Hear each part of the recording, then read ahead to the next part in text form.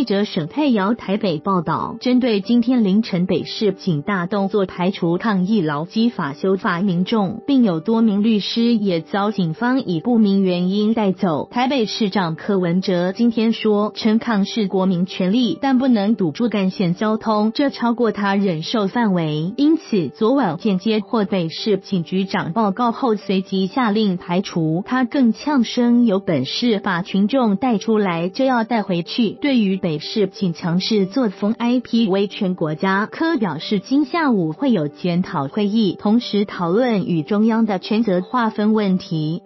昨天劳工团体发起我血汗过劳，你功德个屁！虽然主办单位称在六点就解散，但集会民众不愿离去，转进西门町及北车一带，造成交通大乱。群众今天凌晨聚集在台北车站东三门，警方劝离，部分抗议者被拖上警备车，约带回八十名民众。律师。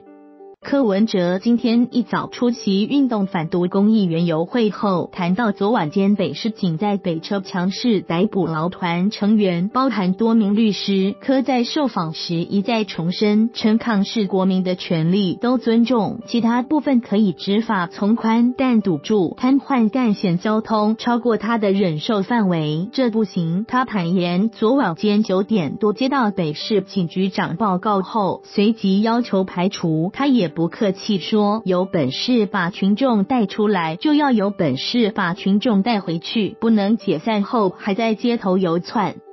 针对警方在执法过程中手法粗暴，疑似有女性成员上。一在拉扯中被脱掉，有律师更在京召开记者会痛批逮捕律师威权复辟，逮捕律师警察国家。科表示有各种声音、各种意见，就把所有问题摊开来讨论。面对问题是解决问题的第一步，让问题法治化、制度化、合理化是目标。